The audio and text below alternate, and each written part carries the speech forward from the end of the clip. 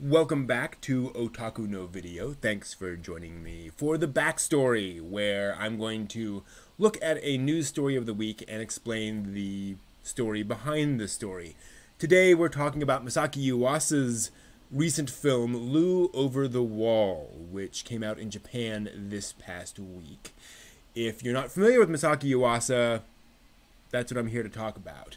So, Lu Over the Wall looks to be a family film in the tradition of um, Summer Wars and Ghibli films and things along those lines. The Girl Who Leapt Through Time. And indeed, it looks like it's more or less Ponyo. It's about a middle school student uh, instead of a young kid who goes out to this seaside uh, area and happens upon this little mermaid girl and it has a big adventure with her. Looks adorable, looks like a lot of fun, and um, the thing is, it's by Masaaki Yuasa, who is a famous, some might say infamous, anime director known for doing weird things. He's probably best known for Mind Game, which is an anime film made some time ago, um, and it is about a man. Well, I'll put it this way the movie begins with the protagonist getting shot and dying. And then the rest of the film continues on from there. So it's this odd, almost Pythonesque story um, with very odd visuals, very extreme animation. Uh, he then went on to make Kaiba, which is this retro future animated uh, TV series that is again, visually different, artistically different than pretty much any other anime you're gonna see. Characters have weird outfits, and it's set in this bizarre sci-fi world. More modern anime fans would probably know him more from Ping Pong, the the animation, which used a lot of rotoscoped animation, which means that they took live actors, filmed them, and then just drew over the outlines for much of the animation very divisive visually and artistically, but that was just a thing they did. They were trying something out. And there's other stuff that goes on in the show that's really interesting. But he's a very distinctive director. So it's one of the interesting things about this movie that he's known for doing weird over the top stuff and instead he's making a more family friendly film. Now I should say the extended trailer shows some fishmongers preparing fish for a shark in a business suit. A humanoid shark wearing a business suit. So there's definitely some weirdness in this film. But that's good.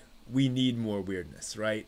So that is the the quick um, sort of overview of Masaaki Yuasa's kind of uh, experience and what he does. So let me talk a little bit more about um, uh, the the film, the basic concept is that well, I've already described that. Um, but th- this is his first original story. Everything up to this point has been an adaptation of something, um, except for Kaiba, which was a TV series. This is his first original anime film.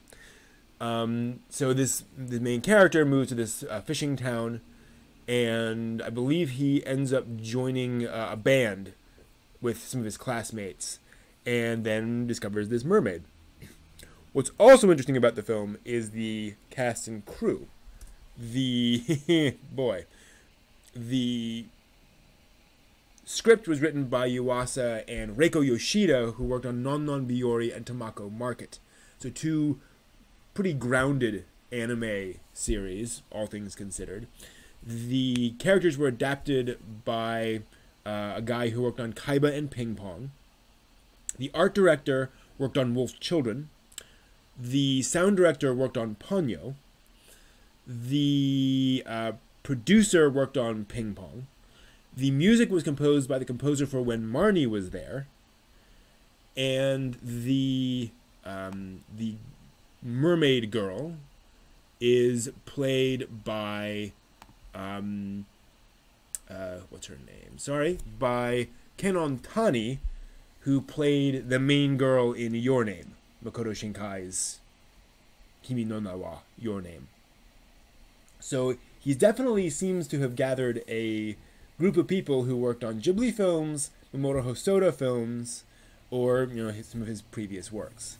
Really interesting to see that. So, what my hope here is that we're getting a director who is combining a taste for the bizarre with a desire to make a family film, a, a film that you can watch with other people and you'll see weird stuff, but that's fine, right? And people can, you know, Guardians of the Galaxy has weird stuff in it.